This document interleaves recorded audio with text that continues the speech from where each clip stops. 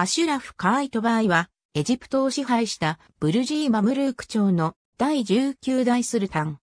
ブルジー・マムルーク朝の第9代スルタンであったアシュラフ・バルスバーイの時代から仕えたマムルークで、1468年に第18代のザーヒル・ティムルブガーを廃して即位した。この頃のマムルーク朝では内紛で国力は衰退し、国外では小アジアや東欧でオスマン朝が急速に拡大して矛先をマムルーク朝に向けつつあった。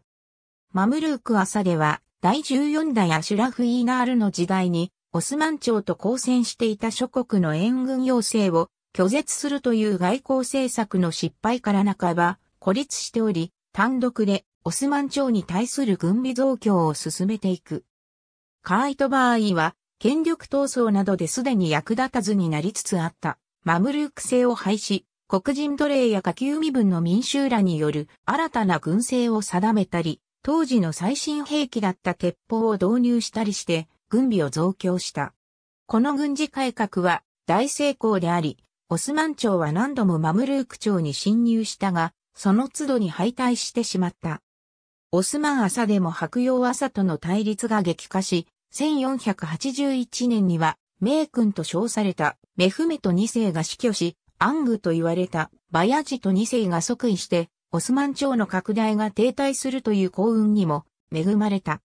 とはいえ、連年の戦いや軍事改革には莫大な軍事費を必要としたため、重税やマムルークの給与減少と人員削減などを行い、これが民衆や旧来の特権層にあったマムルークの批判を浴びて、反乱がエジプト各地で勃発するなどした。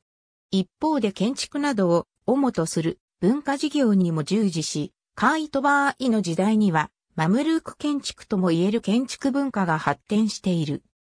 カーイトバーイの治世紀には大航海時代も始まり、バルスバーイ以来の貿易政策ですっかり商人の没落が進んでいたエジプト経済は、ペストの流行による人口減少と農業荒廃と相まって経済に深刻な打撃を与えることにもなった。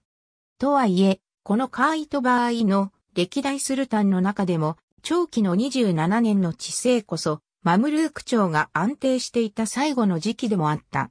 ありがとうございます。